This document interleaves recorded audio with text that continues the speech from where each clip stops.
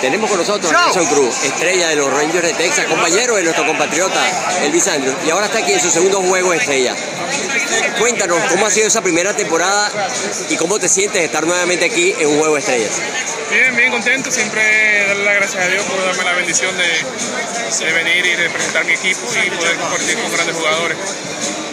¿Qué, ¿Qué, hiciste diferente en esta temporada, en esta, primero, en esta primera parte de la temporada? Yo creo que más consistencia, he tenido más consistencia y eh, gracias a Dios he podido tener salud, que es lo importante. ¿Qué podemos esperar de Cruz para la próxima, para la segunda parte de la temporada, rumbo a cero playoffs? Lo mismo, yo creo que mantenerme consistente es lo principal, eh, mucha salud. ¿Qué hace un pelotero como tú tan joven? Llegas aquí a jugar las estrellas rodeado de otras estrellas ¿Qué haces? ¿Cómo tomas este juego?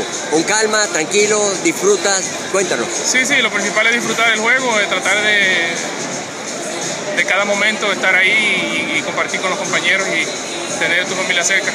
Veo que hay mucha camaradería, sobre todo en la liga americana. Se olvida uno todo de que son rivales.